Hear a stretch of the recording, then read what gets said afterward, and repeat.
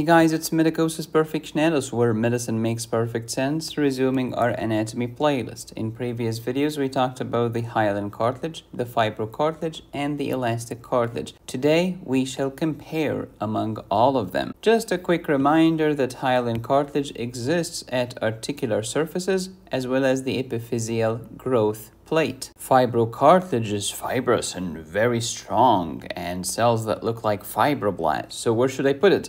In the midline to bear the burden of the body weight, especially your skull. That's why you find fibrocartilage in the intervertebral discs as well as the symphysis pubis. As for elastic cartilage, that's the tip of your nose, the pinna of your ear, as well as the external auditory meatus. So now let's get started. Please watch the videos in my anatomy playlist. Cartilages are mesodermal in origin and they are connective tissue. When you were an embryo growing, you needed endochondral ossification. The cartilage is dying, and on top of that, we are laying down new bone. This is endochondral ossification, which happens thanks to the hyaline cartilages. Cartilage is not the same as bone. Cartilage is firm, not hard. Cartilage mostly has type 2 collagen, as well as type 5, type 6, etc. Cartilage has no vessels, not just no blood vessels, no blood vessels, no lymph vessels, no nerves, and no calcification under normal circumstances. The cells of cartilage are the chondrocytes. Because they have no blood vessels, they have a lower metabolic rate and a limited regeneration capacity. It can happen in some cases, but it's a very limited capacity. Cartilages, do they have calcium? No, they do not have calcium. It's non-calcified. Do they have cells? Yeah, chondroblasts and chondrocytes.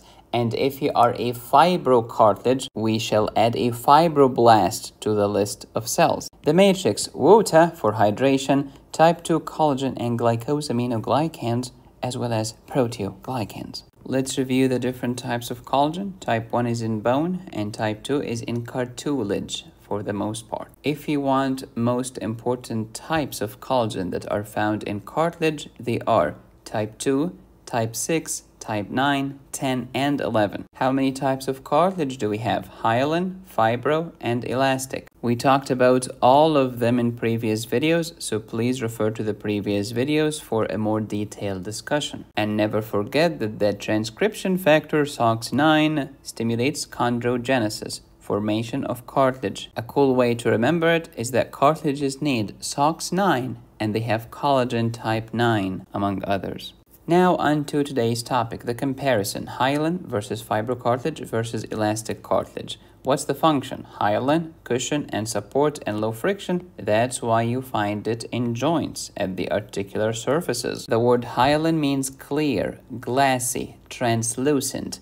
Fibrocartilage, very strong, fibrous, many collagen fibers, especially type 1 and 2.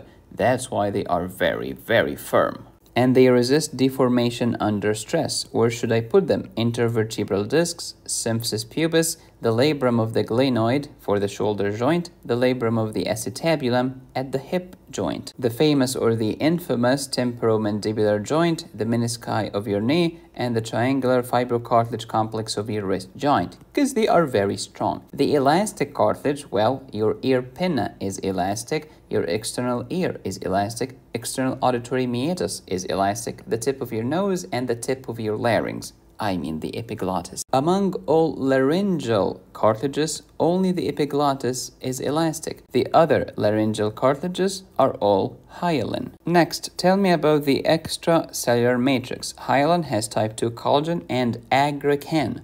Fibrocartilage has type 1 and 2 collagen and versican, which is secreted by the fibroblasts. The elastic cartilage has type 2 collagen, aggrecan, just like hyaline, plus elastic fibers such as elastin. The cells, hyaline cartilages have chondroblasts and chondrocytes. Elastic are the same. Fibrocartilage are stronger because they have fibroblasts, or technically cells that are indistinguishable from fibroblasts. When it comes to calcification, normally cartilage should not calcify, but we have exceptions. In hyaline cartilage, the very young and the very old can experience calcification. In the embryo, it was the endochondral ossification. In the very old, it's osteoarthritis, as well as chondrocalcinosis in cases of pseudogout or calcium pyrophosphate dihydrate deposition disease. Fibrocartilages can calcify during bone repair. Elastic cartilage never calcify. Have you ever seen a calcified ear pinna? Never seen anyone. When it comes to the cover of cartilage, the perichondrium, hyaline cartilages do have a perichondrium with the exception of articular cartilages. Fibro, no perichondrium. Elastic do have a perichondrium. Here's a quick note. If you want to see elastic fibers under the microscope, you'll need some special stains, such as resorcin fuchsin and Orcein stains. If you like this video, you will enjoy my autonomic pharmacology course on my website medicosisperfectionalis.com. Learn about all of these crazy receptors and the medications that target those receptors. Thank you for watching. Please subscribe, hit the bell, and click on the join button. You can support me here or here. Go to my website to download my courses. Be safe, stay happy, study hard. This is Medicosis Perfectionalis, where medicine makes perfect sense.